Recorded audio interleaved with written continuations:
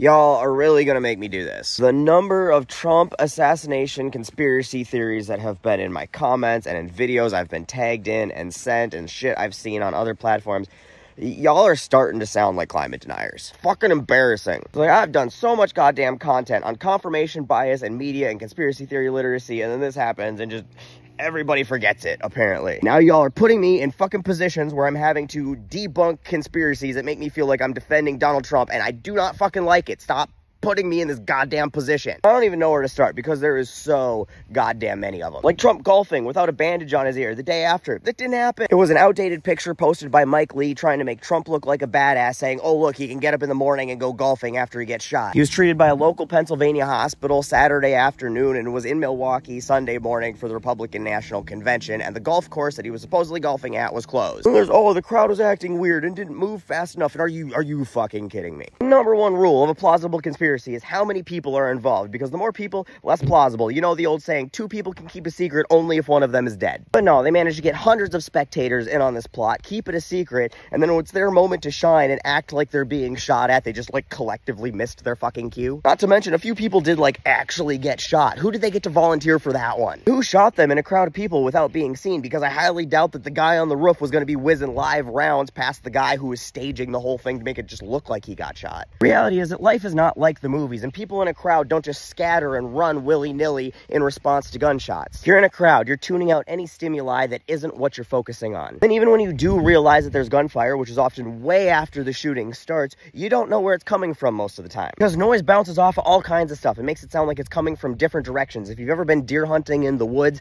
everybody in your hunting party will think a shot came from someplace else. And a supersonic round makes its own sonic boom that sounds like gunfire that changes in perspective to where you are to where that's flying through the air. If you don't know where it's coming from, you don't know where to run. And a lot of people are going to freeze in that situation until they see somebody else do something. And even then, people still don't take it seriously for a long time. Watch the background of the JFK assassination footage. Three shots, two hit Kennedy, who everybody is watching. The third shot very graphically hits Kennedy. And as the car speeds away, you see bystanders still standing there on the side of the road like they're watching a fucking parade. Watch footage from the Vegas shooting. There's lots of it because for some reason, people wanted cell phone footage of Jason Aldean. Three single shots over 30 seconds. Nobody does a thing don't even notice. It's basically like a minute into the shooting and halfway through his first bout of rapid fire that the band finally stops playing. Most of the people still don't run. They stand there and watch for a while longer. And they're like, oh, what's going on? And then they start shuffling off. The crowd did not act weird. The crowd reacted exactly like you'd expect a crowd to react in that situation. And then there's a Secret Service detail not having the roof covered. Seems real sketchy, right? But think about it for a second. Does it does it really seem that weird that Secret Service messed up? What rally number is this. Every week for nearly a decade, Secret Service has been forced to put together security plans and run security details for one of the most divisive people at ridiculous rallies and court hearings and unfortified residences at New York for his family who refused to move into the White House and Mar-a-Lago in Florida because he's got to golf every fucking weekend. That has been years of unnecessary extensive work he has forced on his protection detail. Then we already know how Trump treats the help. His White House staff alone had more turnovers than a fucking bakery. He really does not like being told no. And who's going to tell him no? Perhaps members of his security detail who are like, nah, sorry, we can't do this stupid shit at your stupid rally because the security risks are too high. How do you think the man that during a literal active shooting situation made his security detail go back and get his shoe and stop for a fist bump photo op treats his security detail behind the scenes? Would you think that the best of the best of the Secret Service are going to stick around and be treated like shit and not be allowed to do their job? Probably not. So, like Trump's legal teams, you probably end up with dwindling groups of people who just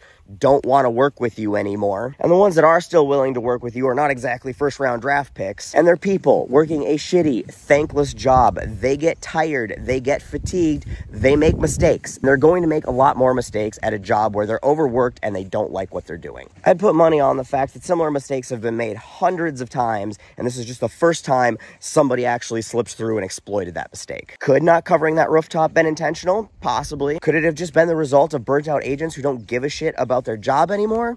Probably. Look, while I highly doubt that there's a conspiracy here, conspiracies do certainly happen. But you damn sure ain't gonna find Deep Throat blowing the case wide open, scrolling on your fucking feed. It ain't gonna be one of us cracking the code with some grainy cell phone footage from a thousand miles away with some inside knowledge that nobody else has. We have real problems right now that require real attention, and even in the way off chance that this was staged, it's not one of them. Remember, women's rights to be considered human, civil rights, a guy running for vice president who said he wants an absolute monarchy, and a guy running for president who literally tried overthrowing democracy. Project 2025 trying to make Handmaid's Tale a reality. Conspiracy is here, guys. It is right in front of our fucking faces, out in the open. We don't need to be digging for pointless ones. So we good? Can we stop? Can, you know, we not, not do this anymore? Because these conspiracies are exhausting, and reality is, is more than exhausting enough for all of us, as it is. Good talk.